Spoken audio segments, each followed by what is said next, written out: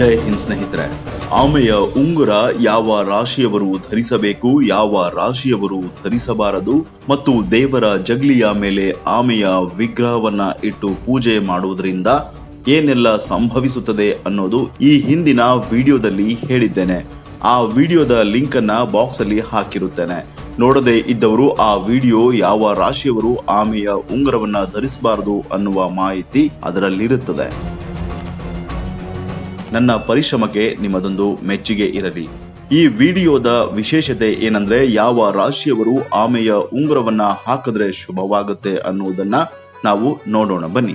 ವೇದಗಳು ಮತ್ತು ಶಾಸ್ತ್ರಗಳಲ್ಲಿ ಹಾಗೂ ದೇವಸ್ಥಾನಗಳಲ್ಲಿ ಪೂಜನೀಯ ಸ್ಥಾನವನ್ನ ಆಮೆಗೆ ಕೊಡಲಾಗುತ್ತದೆ. ಆಮೆಯನ್ನ ಸಾಕುವುದಾಗಲಿ ಆಮೆಗೆ ಆಹಾರವನ್ನ ಕೊಡೋದು ಮುಂದಿನ ದಿನಗಳಲ್ಲಿ ಒಳ್ಳೆಯದಾಗುತ್ತೆ. ಈ ರಾಶಿಯವರು ಆಮೆಯ ಉಂಗುರವನ್ನ ಧರಿಸಬೇಕು. ಧರಿಸಿದರೆ ಬದುಕಿನ ದಿಕ್ಕನ್ನೇ ಉತ್ತುಂಗಕ್ಕೆ ಹೊತ್ತೊಯ್ಯಬಹುದು.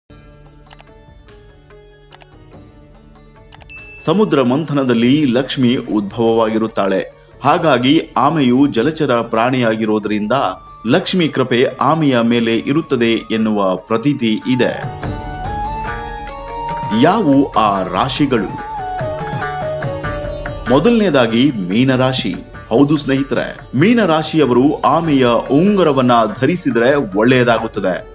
ಆಮೆಯ ಉಂಗರದ ಮೇಲೆ ನಿಮ್ಮ ರಾಶಿಗೆ ಅನುಸಾರವಾಗಿ ಸರಿ ಹೊಂದುವಂತಹ ಹರಳನ್ನ ಸೇರಿಸಿ ಉಂಗರವನ್ನ ಹಾಕಿಕೊಂಡರೆ ಇನ್ನೂ ಹೆಚ್ಚಿನ ಲಾಭವನ್ನ ನೀವು ಪಡೆದುಕೊಳ್ಳಬಹುದು. ಎರಡನೆಯದಾಗಿ ಕಟಕ ರಾಶಿ. ಹೌದು ಸ್ನೇಹಿತರೆ, ಕಟಕ ರಾಶಿಯವರು ಆಮೆಯ ಉಂಗರವನ್ನ ಧರಿಸಿದರೆ ಸಂಕಷ್ಟ ಬರುವುದಿಲ್ಲ. ಈ ಆಮೆಯ ಉಂಗುರವನ್ನ ಧರಿಸುವುದರಿಂದ ನಿಮ್ಮ ಆತ್ಮವಿಶ್ವಾಸ ಹೆಚ್ಚುತ್ತದೆ. ಮನೆಯಲ್ಲಿ ವಾಸ್ತು ದೋಷದ ಸಮಸ್ಯೆಗಳಿದ್ದಲ್ಲಿ ಎಲ್ಲವೂ ಸರಿ ಹೋಗುತ್ತದೆ ಆರ್ಥಿಕ ಸಂಕಷ್ಟದಿಂದ ನೀವು ದೂರವಿರಬಹುದು.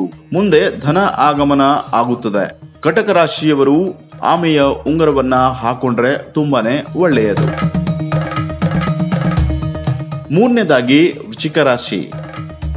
ವೃಶ್ಚಿಕ ರಾಶಿಯವರು ಈ ಉಂಗುರವನ್ನ ಧರಿಸುವುದರಿಂದ ಸಕಲ ಇಷ್ಟಾರ್ಥ ಸಿದ್ಧಿ ಪ್ರಾಪ್ತಿಯಾಗುತ್ತದೆ. ಮತ್ತು ಮುಂದೆ ನಿಮ್ಮ ಜೀವನದಲ್ಲಿ ಶುಭವಾಗುತ್ತೆ. ಯಾಕಂದ್ರೆ ಇದು ಜಲಚರ ಪ್ರಾಣಿಯಾಗಿರೋದ್ರಿಂದ ಲಕ್ಷ್ಮಿಯ ಅನುಗ್ರಹ ಹೆಚ್ಚಾಗಿರುತ್ತದೆ. ಹಾಗಾಗಿ ನಿಮಗೆ ಹೆಚ್ಚಿನ ನಷ್ಟವಾಗುವುದಿಲ್ಲ. ಮಾಡುವ ಎಲ್ಲಾ ಕೆಲಸದಲ್ಲಿ ಉತ್ತೀರ್ಣರಾಗ್ತೀರಾ? ಹಾಗೂ ಹೆಚ್ಚಿನ ಧನ ಆಗಮನವೂ ಆಗುತ್ತೆ. ವೃಶ್ಚಿಕ ರಾಶಿಯವರು ಆಮೆಯ ಉಂಗುರವನ್ನ ಧರಿಸಿದ್ರೆ ತುಂಬಾನೇ ಒಳ್ಳೆಯದು. ಮೇಲೆ ಹೇಳಿರುವ ರಾಶಿಗಳ ಪ್ರಕಾರ, ನೀವು ಬೆಳ್ಳಿಯ ಆಮೆಯ ಉಂಗುರವನ್ನ ಧರಿಸಿದ್ರೆ ಅದೃಷ್ಟವನ್ನ ಬದಲಾಗುತ್ತದೆ.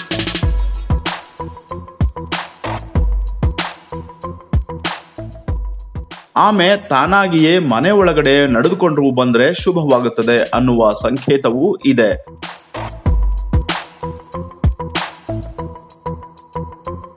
ಮನುಷ್ಯನ ಬದುಕಿನಲ್ಲಿ ಸಕಲ ಸುಖ ದುಃಖಗಳಿಗೆ ಅವನ ಗ್ರಹಗತಿಗಳೇ ಕಾರಣ.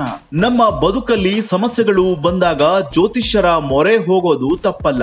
ಸಂಪೂರ್ಣ ಸಲಹೆ ನೀಡುವಂತಹ ಜ್ಯೋತಿಷ್ಯ ಕೇಂದ್ರವೊಂದರ ಸಂಪರ್ಕದ ಮಾಹಿತಿ ನಿಮಗೆ ಅವಶ್ಯಕತೆ ಇದ್ದಲ್ಲಿ ಸಂಪರ್ಕಿಸಬಹುದು.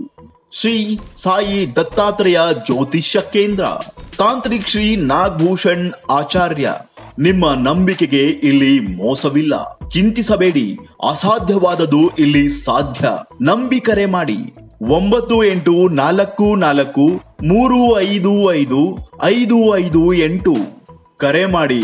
ನಿಮ್ಮ ಎಲ್ಲ ಸಮಸ್ಯೆಗಳಿಗೆ ಪರಿಹಾರವನ್ನ ಕಂಡುಕೊಳ್ಳಿ. ಇದೇ ತರಹದ ಇನ್ನು ಹೆಚ್ಚಿನ ಆಧ್ಯಾತ್ಮ ಪುರಾಣಗಳ ವಿಷಯವನ್ನ ತಿಳಿಯಲು ನಮ್ಮ YouTube channel C R studio subscribe ಮಾಡ್ಕೊಳ್ಳಿ. ಹಾಗೆ ಬೆಲ್ ಐಕಾನ್ ಕ್ಲಿಕ್ ಮಾಡಿ ಮುಂದಿನ ವಿಡಿಯೋಗಳ ನೋಟಿಫಿಕೇಶನ್ ನಿಮಗ್ ಬರುತ್ತೆ.